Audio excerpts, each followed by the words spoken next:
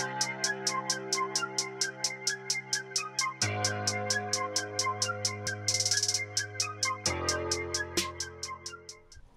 morning, guys. Welcome back to another episode of East Coast Bass Fishing. Um, in the comment section, in one of my previous videos, I got a request, more of a, a comment. You should do a rod and reel arsenal. So that's what I want to get into. I've done this a few times, but you know, every so often, you know, as, anglers, you all, we all accumulate more rods, more reels, even when you think you have enough. You always find a reason to buy another one. Maybe it's just me, but that's what happens. So I got a few of my rods here laid out. I want to go over those with you guys. Uh, go over the the length, the actions, the reels I have, and uh, what I use them for. So here we go. Let's get right into it. All right, first up, guys, I'm gonna go with the rod and well, the reel it's fluctuated. It's bounced around different reels, different rods throughout the years. But this rod itself is a Tech Spec. Watch the wall. Tech Spec there. Seven foot three, medium heavy. As you can see, I have a buzz bait on it, and I have. I believe it's a fast action. Yes, fast action tip. And I got a buzz bait on there with uh, I think it's 30 pound braid on this Abu Garcia Silver Max here. I use this quite often, uh, mainly for top water, buzz baits, and the small um, whopper poppers and 90 ties. So that's what I use that one for. Next, this is my drop shot rod or rod I would use for uh, weightless worm of any sort or maybe a little shaky head. But this is my Inferno. I want to say this is a seven foot medium action. It's two piece rod. I use that for drop shots, weightless Senkos, weightless worms, stuff like that. And I got light line on that one. I believe it's about 10 pound fluorocarbon on that. Alright guys, next rod, I put a lot of work in on this one. I've used it quite a bit. Actually sometimes I use it in salt water. So this is my Bass Pro Shops uh, graphite. And this is a seven foot medium heavy. As you can see, I got a tube on there. I used that in previous videos of Cane Creek Reservoir with NC fish on, and we uh, we did all right. Caught a few fish. Then I have a Daiwa Laguna. This is six three one left hand retrieve. All my reels are left hand retrieve. I'm right handed, but I feel more comfortable retrieving with my left hand. So and that's what I have here. Laguna 108 LA here. Mono on this one, that's 17 pound.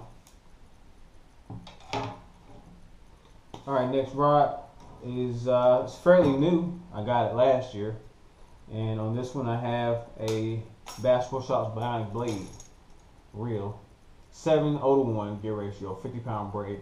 I have a buzz bait on there, but I usually use it just for uh, frogs and big jigs.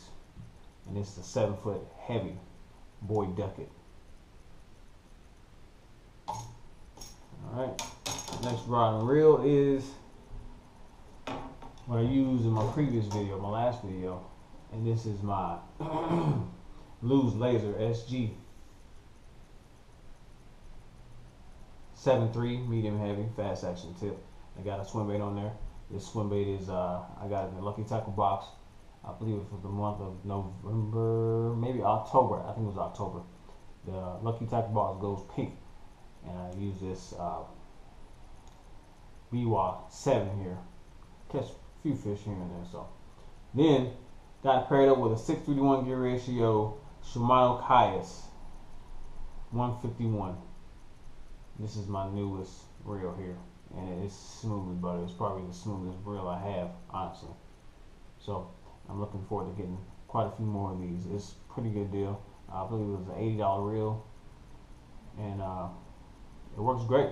So again, this rod seven foot three, medium heavy. I got 17 pound mono on here.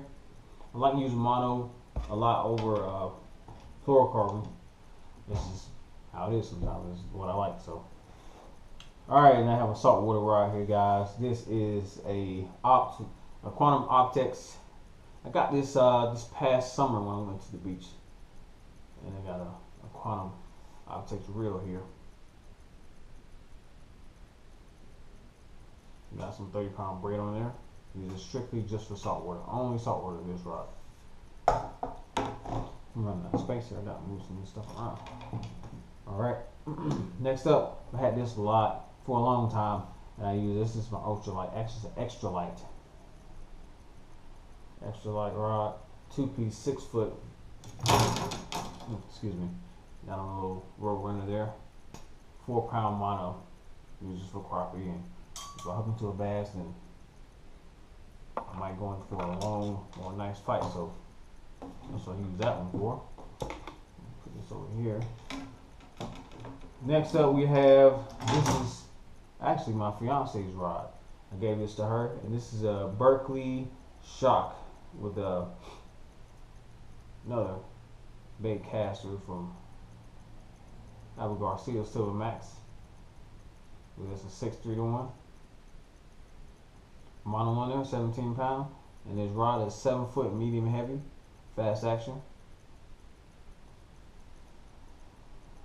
Last but not least, my newest rod, which the reel should be the Shimano on it, but I just kind of switch it up sometimes. I used this in a previous video, and this is my cranking rod, but I have a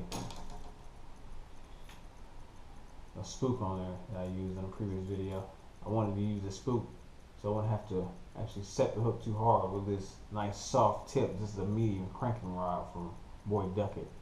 And I got it on a octane, quantum octane 6 2 to 1 slow gear ratio. So I have to reel that spook in too fast. It's working nice and easy and get a nice bite on it. So guys, that's all of my rods, all of my reels, other than this last one. This was a reel that I use a lot. Um, last year, year before that, and got into a situation over my kayak, and I caught a nice size bass. Caught a five pound bass on the top water. Uh, what was it called? The bone colored Whopper Popper 90, and I dipped a reel in the water. I just need to clean it. I know that's what it is, but I got my 13 fishing rod here, reel 8 1 to 1 gear ratio. And what's going on with this, I need to get it clean or get some maintenance done to it. It's kind of locking up right there. Is where it stops. Sometimes, as you can see, it's not moving. But I'll get that fixed soon enough, or I can just take it apart myself. I'm trying to, or I need to send somebody actually and have them do it. So I won't screw it up. So, um, these are all my rods, my reels, reels and rods that I do use. And um, that's going to be it, guys. So I hope you guys enjoyed this. Leave a like, comment, subscribe if you haven't subscribed to my channel already. You guys, I'll catch you on the next episode. Peace.